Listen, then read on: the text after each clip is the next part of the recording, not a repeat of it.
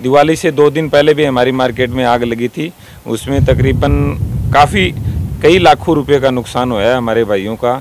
तो हम सरकार से यही गुहार लगा रहे हैं, ये रिक्वेस्ट कर रहे हैं, अनुरोध कर रहे हैं कि हमारे को एक फायर ब्रिगेड दी जाए। हम लगभग पाँच साल सर, पाँच साल से सरकार से अनुरोध कर रहे हैं कि हमारे को एक फायर फायर ब्रिगेड दी जाए, क्योंकि हमारी मार्केट में काफ़ी लॉस हो रहा है, क्योंकि हमारी मार्केट में तकरीबन प्लास्टिक आइटम्स होती हैं। तो इसमें प्लास्टिक में एक बार आग लगने से अगर फायर ब्रिगेड नहीं होती है तो काफ़ी नुकसान हो जाता है।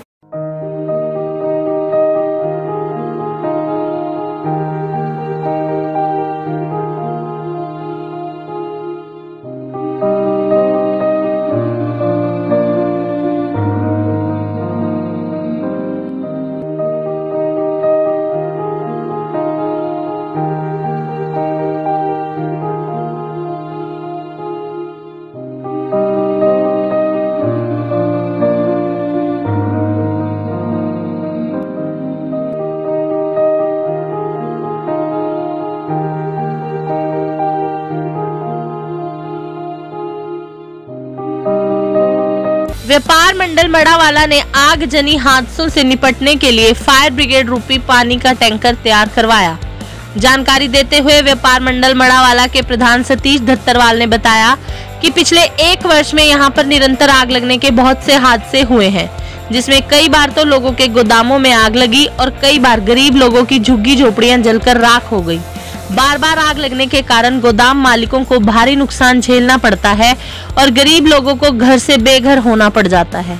सतीश धत्तरवाल ने बताया कि इन हादसों से होने वाले नुकसान को कम करने के लिए व्यापार मंडल मड़ावाला ने अपने निजी फायर ब्रिगेड रूपी पानी का बड़ा टैंकर तैयार करवाया है। इस टैंकर में करीब 5000 लीटर पानी स्टोर होता है और फायर ब्रिगेड के सभी सिस्टम इसमें इंस्टॉल हैं। सतीश ने बताया कि जब भी यहाँ पर आग लगती है तो कालका से फायर ब्रिगेड को यहाँ तक पहुँचाने में काफ़ी समय लग जाता है और तब तक सब कुछ जलकर राख हो जाता है। उन्होंने कहा, हमारे कारोबार से करीब दस हज़ार लोगों की रोजी रोटी जुड़ी हुई है और हम सरकार को भी निरंतर टैक्स देकर रेवेन्यू जनरेट करते हैं। परंतु ऐसे हादसों से यदि लगातार हमारा कारोबार प्रभावित होता रहा तो कारोबार के साथ रोज़गार के लिए जुड़े लोगों को भी भारी नुकसान झेलना पड़ेगा। उन्होंने बताया कि 16 नवंबर को यह टैंकर यहाँ पर मंगवाकर इसका उद्घाटन किया गया और 20 नवंबर को यहाँ पर एक प्लास्टिक के गोदाम में आग लग गई थी और इस फायर ब्रिगेड टैंकर की मदद से तुरंत आग पर काबू पाया गया, जिससे कि काफ़ी नुकसान होने से बच गया। सतीश धत्तरवाल सहित व्यापार मंडल मड़ावाला के अन्य सदस्यों ने बताया कि वह पिछले पाँच सालों से निरंतर सरकार से मांग कर रहे हैं कि यहाँ पर फायर ब्रिगेड की गाड़ियाँ उपलब्ध करवाई जाए। ताकि ऐसे हादसों से जल्द से जल्द निपटकर नुकसान को कम किया जा सके। और अब भी वह सरकार से गुहार लगा रहे हैं कि व्यापार मंडल मड़ावाला को फायर ब्रिगेड उपलब्ध करवाई जाए, क्योंकि ऐसे हादसों से उन्हें भारी नुकसान झेलना पड़ता है। राम राम जी सभी को, हमने ये व्यापार मंडल मड़ावाला के नाम से एक पंजाब से जल, ये मलेर कोटला से एक फायर ब्रिगेड का टंकर लेके आए इसमें पाँच हज़ार लीटर पानी आता है। और जो सिस्टम फायर ब्रिगेड में होते हैं, वो सारे सिस्टम हैं। हम ये फायर ब्रिगेड का टंकर इसलिए लेके आए हैं कि हमारी मार्केट में लगातार आगजनी हो रही है। यहाँ हमारे गरीब आदमियों की झुग्गी झोपड़ियों में पिछली बार गर्मी में अप्रैल के अंदर काफ़ी बार दो तीन बार झुग्गियाँ जल गई थी। हम, हमारी मार्केट ने उस टाइम में झुग्गियों के जो आगजनी हुई थी, नुकसान हुआ गरीब आदमियों का, उनका सहयोग भी किया था। और कल परसों दिवाली से दो दिन पहले भी हमारी मार्केट में आग लगी थी। उसमें तकरीबन काफ़ी, कई लाखों रुपए का नुकसान हुआ है हमारे भाइयों का।